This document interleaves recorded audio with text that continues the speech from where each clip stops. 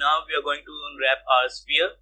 So for sphere just select the sphere and go to UV editor create spherical reset the settings and project.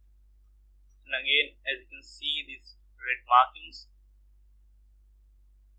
close it and do the same with these green ones close them too. So our sphere is mostly unwrapped here so now we have to fix these UVs we select the UV here.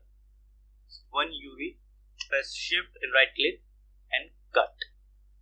And do the same with this cut UV now what we need to do is again select this UV and unfold. Do the same with this one unfold.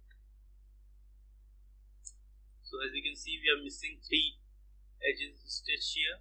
Select those and move and sew. And do the same with this one. So be careful.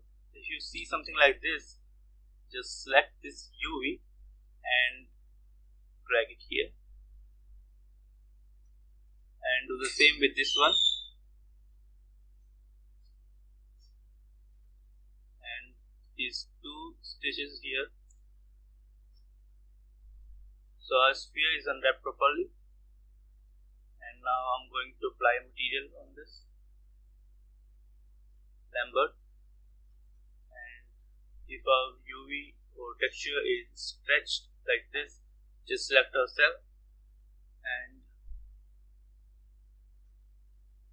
scale it. Again layout UV